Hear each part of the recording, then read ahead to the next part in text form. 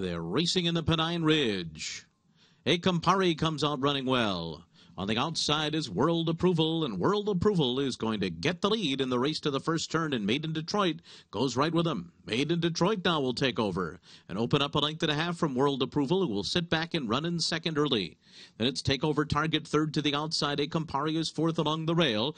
Startup Nation is fifth as they make their way to the backstretch. Then Rock Eagle and Divisidero is eight lengths off the lead at the rear of the field. Onto the backstretch and an easy opening quarter mile here. A slow 25 seconds flat for Made in Detroit and Junior Alvarado, and they lead it by a length. World approval, pressing the pace in second, but it's an easy early pace here. Takeover Target a third. Divisidero is going to move early now. On the outside, Divisidero is heading up toward the front runners, only a length and a half behind with this slow early tempo. Then it's a Campari to the inside, followed by Startup Nation and Rock Eagle at the back, of 49 and two half mile. Made in Detroit, the leader three quarters of a length over World Approval, who's second as they move for the turn. Takeover Target is third to the outside.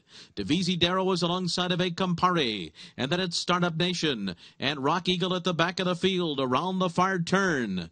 It is Made in Detroit, still on top.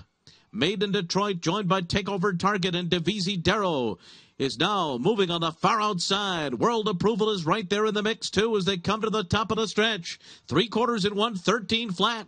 They're into the stretch, and it is Takeover Target and Divisidero. And these two will sprint to the wire. Divisidero on the outside and Takeover Target. Down toward the inside, World approval is next. Then comes Startup Nation, and they're coming down to the finish. Takeover Target and Divisidero down to the line together. Divisidero did it over Takeover Target, then Startup Nation and World Approval.